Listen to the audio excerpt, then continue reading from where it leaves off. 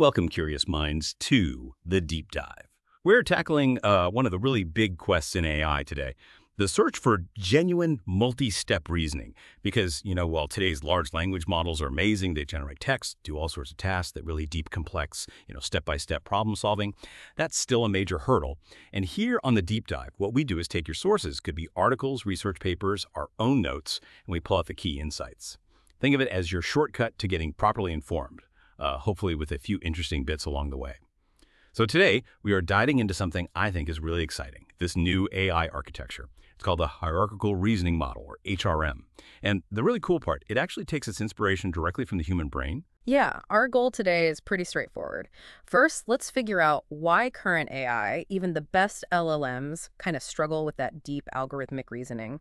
Then we'll unpack how this uh, this brain-inspired model, HRM, really shifts the landscape.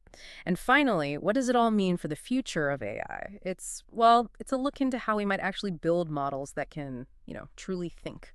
Okay, so deep reasoning. For a while now, the main technique people have been using with large language models is a thing called chain of thought prompting, AET. But I mean, how far does that actually get us, especially when we're talking about this like really deep algorithmic stuff in LLMs? Mm -hmm. That's uh that's the key question really, because even with COTI, these current LLM architectures, they fundamentally hit a ceiling there's a limit to the kind of problem they can solve efficiently. It's a bit like um, trying to run really complex planning software on a basic calculator. They just aren't set up for that kind of deep, step-by-step, -step, almost symbolic work that true reasoning often needs. They aren't universal problem solvers in that sense. And chain of thought, I mean, it helps, but it really is more of a crutch, isn't it? It leans so heavily on these, like, predefined steps, often laid out by humans.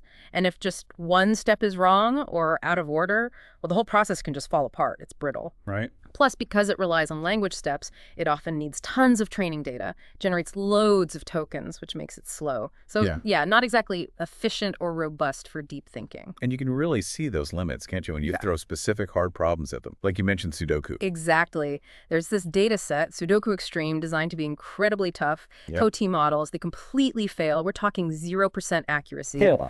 Yeah, it's a brick wall. Same thing happens with finding the optimal path in really large, complex mazes. 0% again for COTI. And what's really telling is even if you make the models much bigger, more depth, more width, doesn't help on these tasks. No performance gain at all. They just can't crack them, fundamentally. Okay, so that sets the stage. The COTI isn't cutting it for these complex tasks. And you said HRM is a completely different paradigm. Inspired by the brain, that, that definitely got my attention how does it use that brain idea to, well, tackle these problems? It's really fascinating how they drew the inspiration. So the human brain, it handles deep multi-stage thinking using hierarchy, right? Different brain regions working together, but on different time scales. You can think of like slow brain waves, theta waves, maybe handling the high-level planning, the abstract stuff, and then faster waves, gamma waves, dealing with the quick, detailed computations needed right now. Uh. And the brain manages this incredible depth of reasoning without the huge computational costs, like the credit assignment problems that really plague standard AI methods like backpropagation through time when they try to learn long sequences. So HRM sort of copies that structure. How does it work architecturally? Pretty much. It has two core parts, two recurrent modules that work together. There's a high-level module, they call it H, which handles the slow, abstract planning, your big picture thinker, if you will. Okay, the H module, slow and abstract. And then there's a low-level L module. This one's fast. It does the rapid, detailed computations, the quick executor. H and L, high and low. Got it. Mm-hmm. So what are the key tricks, the innovations that make this structure work so well? Right. There are a few key things. First is something called hierarchical convergence. This is really clever. It tackles a big problem in standard recurrent networks where they can sort of converge too early, get stuck. In HRM, the low-level module, the L1, runs for multiple steps on its own. It finds a kind of local solution or equilibrium. Ah, so the fast part works on a piece of the problem. Exactly. And only then does the high-level H module update. And when it updates, it essentially resets or guides the L module's path for the next chunk of computation. So it prevents the whole system from just settling too quickly. It keeps the computation going deeper. Precisely. It allows the model to effectively compute for way, way longer, potentially NT steps, where T is the limit for one module without the gradients vanishing or exploding, which is a classic problem. Figure 3 in the source material actually shows this visually quite well. Okay, that makes sense. It's like punctuated computation. What else is new? The second big one is a novel one-step gradient approximation. This is maybe the most technically significant part for efficiency. It lets HRM learn without needing backpropagation through time, BPTT. BPTT. That's one that needs loads of memory, right? Yeah. Because it has to store all the intermediate steps. Exactly. BPTT has a memory footprint that scales with the sequence length, OT. HRM's approximation avoids that. It only needs to consider the very last state of each module for the gradient calculation. Which means Which means it has an O1 memory footprint. Constant memory, regardless of how many steps it takes. Wow, okay. O1 memory. That's huge for actually building and running these things. And you said more biologically plausible, too. Well, yes, because the brain almost certainly doesn't do exact BPTT over long time scales. This approximation is much more efficient and potentially closer to how biological systems might handle credit assignment over time. It's a massive step for scalability. Okay, hierarchical convergence, one-step gradient. Mm-hmm. What's the third innovation? Third is deep supervision. They built in a mechanism where the system doesn't just calculate the error, the loss, at the very end of the computation. It calculates loss and updates the parameters at multiple points or segments during its forward pass. And why do that? What's the benefit? It gives the high-level module more frequent feedback. It helps keep the whole learning process stable and on track, acting as a kind of regularization. Makes it learn better and more robustly. Frequent feedback regularization makes sense. Is there a fourth? Yes, the last key piece is adaptive computational time, or ACT. This is really cool because it's directly inspired by that thinking fast and slow idea from psychology. Mm-hmm. You know, system one and system two. Oh, yeah, Kahneman. The fast, intuitive gut feeling versus the slow, deliberate reasoning. So the AI learns how much effort to put in. Pretty much. HRM uses a reinforcement learning technique, specifically Q-learning, to dynamically figure out how many computational steps are actually needed for a given task or even a given input. So it doesn't just run for a fixed amount of time. Nope. If the problem seems easy, it might stop early, saving compute. If it's complex, it'll run for longer. And the sources show this works really well. Figure 5a and b demonstrate it saves a lot of computation with hardly any hit to performance. That's really efficient. And even better, it allows for something called inference time scaling. You can just tell the model at test time, hey, you have more time to think now, increase its computational limit, and its performance often gets better without any retraining. Just let it think harder on the spot. That's, Right, right. that's very flexible. It really is. It adapts. Okay, so we've gone through how HRM works under the hood, Yeah. the H&L modules, hierarchical convergence, that O1 memory trick, deep supervision, adaptive time. It sounds really sophisticated, but you know, the proof is in the pudding. How did this translate into actual results on those tough problems you mentioned earlier? And efficiently? This is where it gets really impressive. HRM pulled off these results using only 27 million parameters. That's tiny compared to modern LLMs. 27 million. Seriously. Yep. And trained on just 1,000 examples per task. Crucially, with no large-scale pre-training and no specific chain-of-thought data. So small model, small data, big results. Huge results on the specific benchmarks they designed to break other models. Take Sudoku Extreme, 9x9. These are puzzles designed to need a lot of backtracking search. HRM gets near perfect accuracy. Near-perfect. And the Connie models. Still 0%. Complete failure. It's a massive difference. Okay, what about the mazes? Same story for Maze Hard, 30 by 30, finding the shortest path in these big, tricky mazes. HRM, near perfect accuracy again. Cunning models, 0%. It's just night and day on these algorithmic tasks. Absolutely. And then there's the ARC AGI challenge.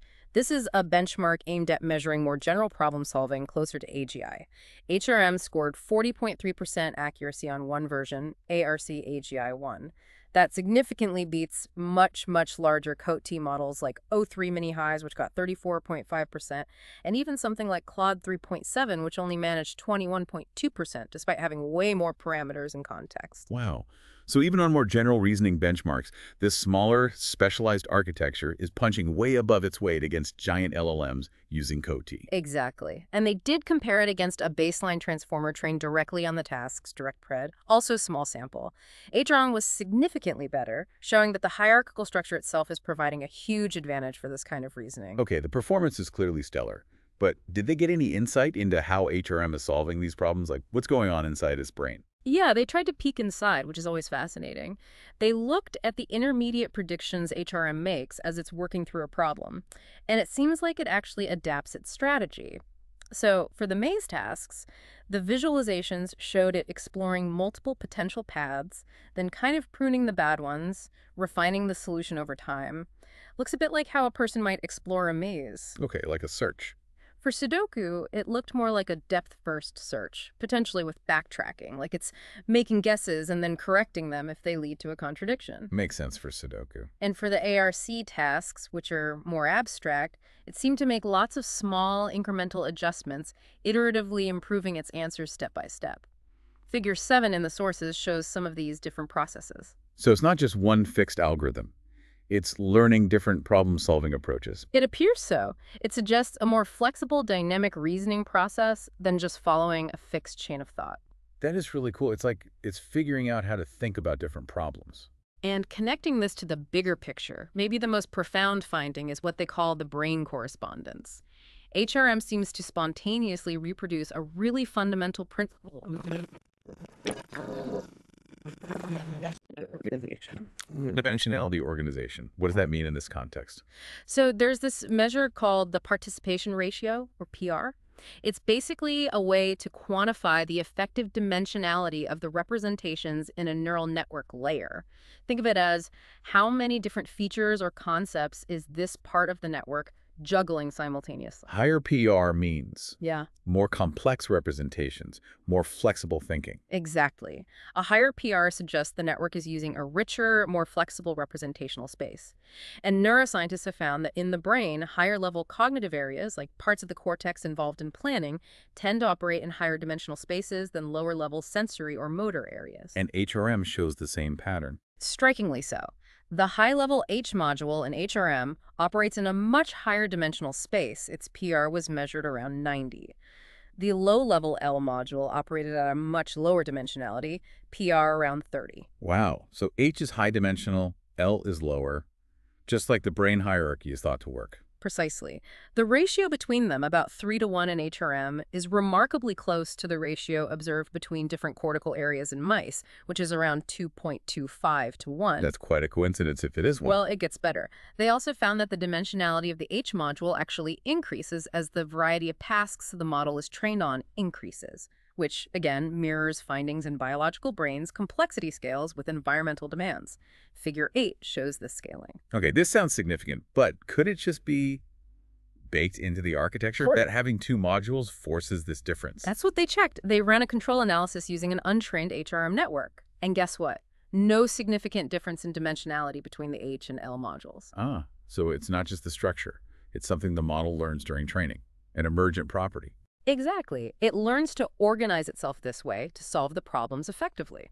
This is really important because many standard deep networks suffer from something called neural collapse, where representations become less diverse, lower dimensional during training. Right, losing that flexibility. But HRM seems to avoid that. It maintains these high-dimensional representations, especially in the H module, which is thought to be crucial for cognitive flexibility, the kind of thing we associate with higher-order brain regions, like the prefrontal cortex. So it's not just performing well, it's organizing its internal thoughts in a way that mirrors biological principles of effective reasoning. Which raises that big question, doesn't it? If HRM is autonomously discovering this kind of fundamental organizational principle, one that biology seems to use for robust, flexible thought, hmm. what does that really imply? It suggests HRM isn't just a collection of clever tricks. It might be tapping into something more fundamental about how to structure computation for deep reasoning, potentially getting closer to, you know, practical Turing completeness or universal problem-solving ability than previous architectures. Okay, let's try and wrap this up. We've dived deep into the hierarchical reasoning model, HRM. It's this novel, brain-inspired AI architecture. It offers um, really substantial computational depth and efficiency, breaking through limitations we see with methods like chain of thought in big language models. It tackles complexity differently. Exactly. And its ability to solve these really hard algorithmic problems, Sudoku, mazes, ARC, with such a small model, minimal data, no pre-training, that's pretty remarkable. It definitely pushes AI closer towards more general purpose reasoning systems. It really demonstrates that sometimes, you know, looking at nature's designs, that biological inspiration can lead to breakthroughs where just scaling up existing methods hits a wall. So as we finish this deep dive, here's something to chew on. HRM doesn't just solve hard problems. It seems to learn an internal organizational structure, this hierarchical dimensionality that mirrors the brain and seems crucial for complex thought. If an AI discovers these principles on its own, what does that really tell us about the path forward? Are we getting closer to models that don't just mimic output but actually learn more effective ways of how to think? Something to ponder?